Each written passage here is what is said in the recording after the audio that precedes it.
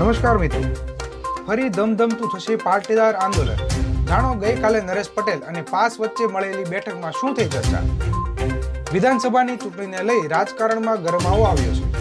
પાટીદાર અનામત આંદોલન એટલે કે પાસ સમયે થયેલા કેસોના મામલે હવે પાટીદાર સમાજના નેતાઓ અને આગેવાનોએ પોલીસ દ્વારા કરવામાં આવેલ કેસ પાછા ખેંચવા માટે સરકારને છ માર્ચ સુધીનું અલ્ટિમેટમ આપવામાં આવ્યું છે.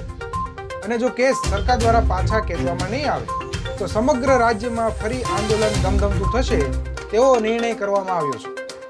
અત્રે ઉલ્લેખનીય છે કે ગઈકાલે પાટીદાર આંદોલન સમિતિના નેતા અલ્પેશ કથિરિયા દ્વારા ખોડલધામના પ્રમુખ નરેશ પટેલ સાથે કાગવડ ખાતે મુલાકાત કરવામાં આવી હતી.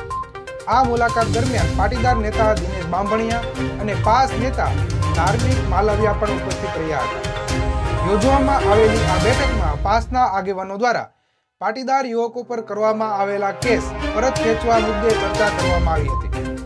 આ અગાઉ પણ પાટીદાર આંદોલન સમયના કેસ ત્રેવીસ માર્ચ પહેલા પરત ખેંચવામાં નહીં આવે તો આંદોલન કરવાની હાર્દિક પટેલ દ્વારા પણ ચીમકી ઉચ્ચારવામાં આવી હતી. ધન્યવાદ, જય